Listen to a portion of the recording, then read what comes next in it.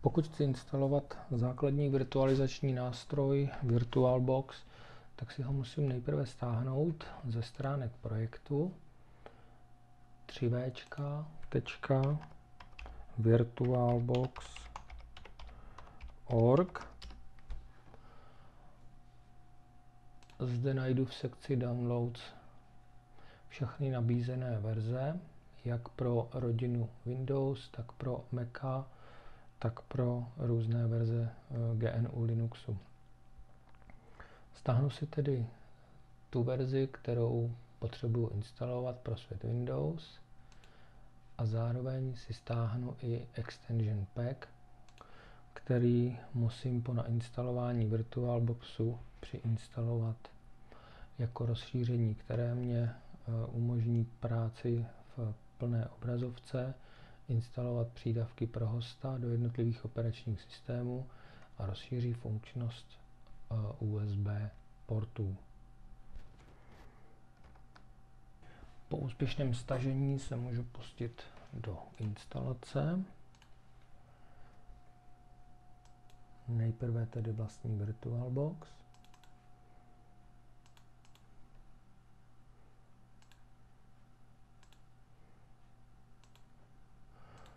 Instaluji s výchozími hodnotami.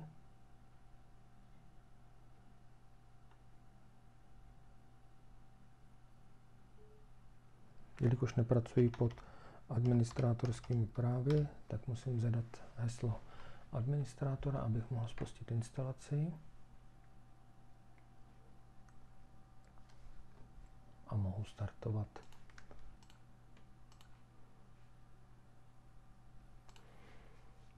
Když se kouknu do předvoleb, tak to rozšíření by tady nemělo být. No a teď bych mohl ten balíček přidat. Když to ale udělám, tak to nepůjde, protože nepracuji pod administrátorem. Musím tedy nastartovat VirtualBox zprávy administrátora, abych mohl balíček rozšiřující funkčnost VirtualBoxu přidat. Soubor, předvolby, rozšíření a teď musím nalistovat stažené soubory, ale stažené soubory administrátora to není správně, musím si nalistovat stažené soubory pod tím uživatelem, pod kterým pracuji standardně. Tady je. Nainstaluji.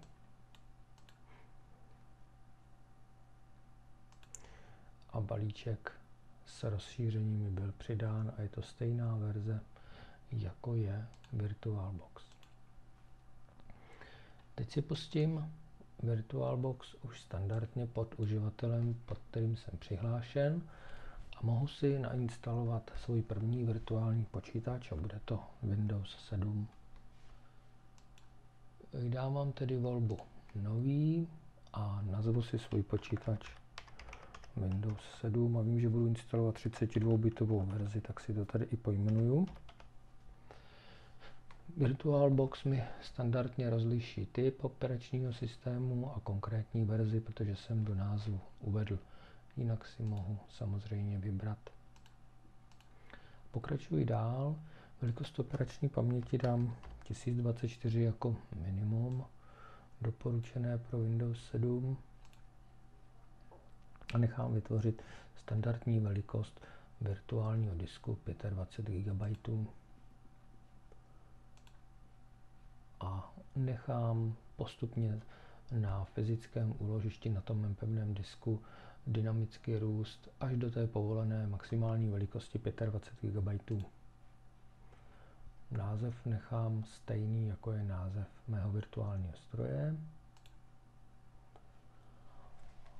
A teď už jenom si mohu skonfigurovat chování. Na kartě obecné mohu přejmenovat ten svůj počítač. Ve volbě pokročilé můžu definovat složku, kam eh, můžu snímkovat eh, jednotlivé události, můžu vlastně snímat v tom virtuálním stroji obrazovky a automaticky si je ukládat do konkrétní složky a také si mohu povolit anebo zakázat sdílenou schránku. Standardně je zakázána a mohu si vybrat, jestli schránka bude přístupná z hostitele do hosta nebo z hosta do hostitele a nebo bude obousměrná. Tak já si dám eh, schránku obousměrnou a zároveň pokud nebudu pracovat v plnoobrazovkovém režimu, můžu využít standardní metodu hm, v operačních systémech táhni a pust. Také si ji povolím obousměrně. Na záložce systém mohu ještě dodatečně upravovat, kdykoliv eh, mám vypnutý ten můj počítač, tak mohu jeho parametry měnit, takže mohu si ještě znovu nastavit velikost operační paměti přidělené tomu mému eh, virtuálnímu počítači. Mohu si zvolit pořadí bootování, to znamená, jako kdybych nastavoval BIOS počítače. Jenom drobné upozornění, že nenajdu možnost bootování z USB portu. To VirtualBox nepodporuje. Mohu bootovat z diskety, z CD, buď to fyzického nebo virtuálního, z pevného disku, případně ze sítě.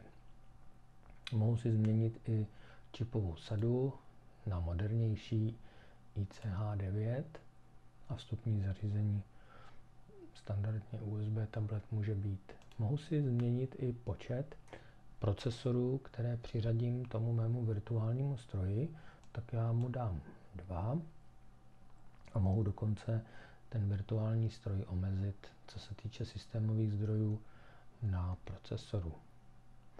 Důležitá záškrtka PAE neboli Physical Address Extension, která je důležitá u některých verzí operačního systému. Podporu PAE musím zaškrtnout u některých konkrétních druhů operačních systémů. Obrazovku hm, doporučuji dát rovnou 64 MB videopaměti, abych mohl bez problému potom přepnout do plnoobrazovkového režimu. Tady v úložišti mohu nastavit konkrétní image, z kterého chci instalovat. Vyberu si tedy virtuální CD, ISO obraz, nebudu instalovat z fyzické mechaniky.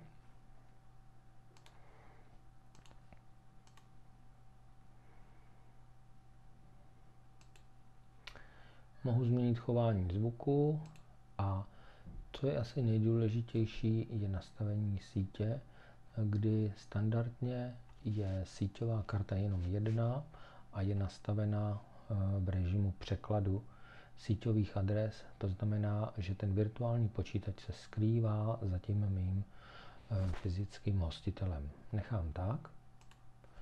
Pustím se tedy do základní instalace Windows 7.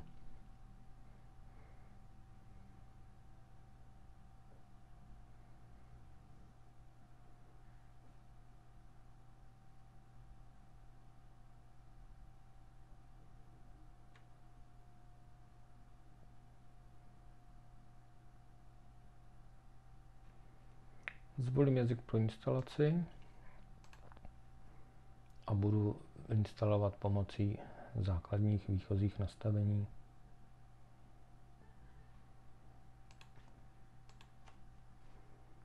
Provádím tedy vlastní instalaci, žádný upgrade a použiju to, to místo na pevném disku, tak jak mi VirtualBox vytvořil virtuální disk o velikosti 25 GB.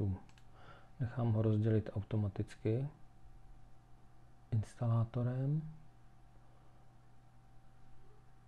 A teď se spouští první část instalace kopírování.